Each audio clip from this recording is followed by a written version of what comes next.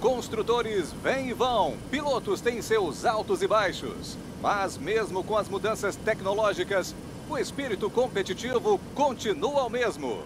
Bem-vindos de volta à Fórmula 1, em mais uma batalha na principal categoria do esporte automotivo. Os 140 mil lugares estão ocupados enquanto aguardamos as luzes se apagarem para os primeiros 730 metros até a curva 1, nesta pista de 4,7 quilômetros. As ultrapassagens são difíceis nas 16 curvas, mas ainda há muitos pontos de alta velocidade, incluindo o trecho reto depois da curva 3 e a curva 9, um trecho assustadoramente cego à direita. É claro que eu não vou narrar a corrida sozinho. Eu divido o trabalho com ninguém menos que Anthony Davidson. Agora, conversamos mais cedo sobre como a disputa está mais acirrada em comparação aos últimos anos. E qual você acha que é o motivo?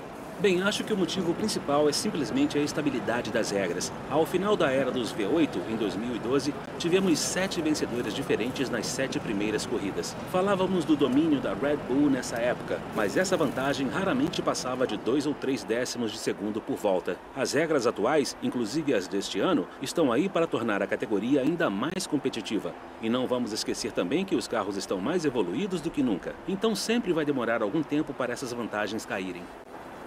Veja se consegue chegar em sétimo lugar ou melhor.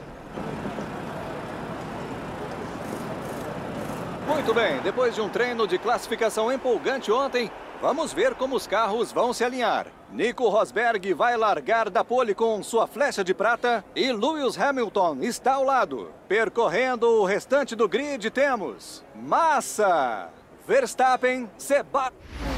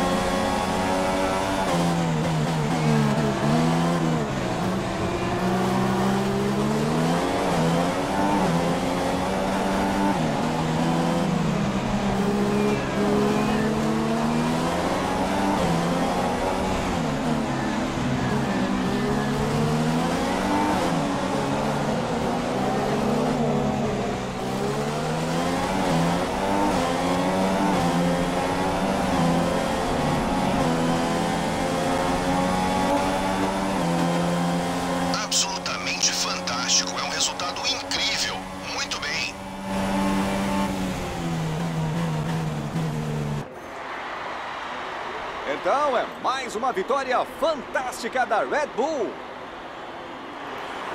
Diga, Anthony Davidson, qual foi a chave para essa vitória? Acho que as condições favoreceram o carro hoje. O vento, a temperatura da pista, tudo. Esses carros ganham vida quando os pneus estão na temperatura certa. Então, quanto mais você conseguir manter essa temperatura, melhor sua corrida. E foi exatamente isso que aconteceu. O carro parecia estar à vontade. E eu estou vendo os pilotos saindo agora. É bom ver a Red Bull disputando vitórias. Ela faz muito pela Fórmula 1. E é mais um troféu que vai para Milton Keynes.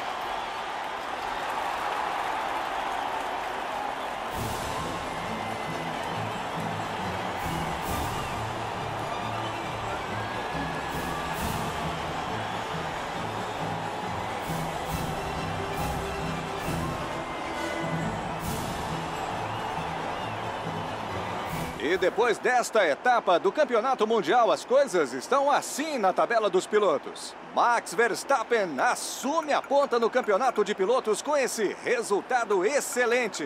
E então, Anthony Davidson, quem foi o piloto de destaque do dia? Digo que Max Verstappen merece esse título hoje. Ele foi oportunista, essa é a palavra. É assim que ele tem sido reconhecido em sua carreira, e isso lhe serviu bem hoje. Haverá muitas voltas e reviravoltas nesta temporada. Espero que vocês estejam conosco na próxima corrida para ver quem sairá vencedor.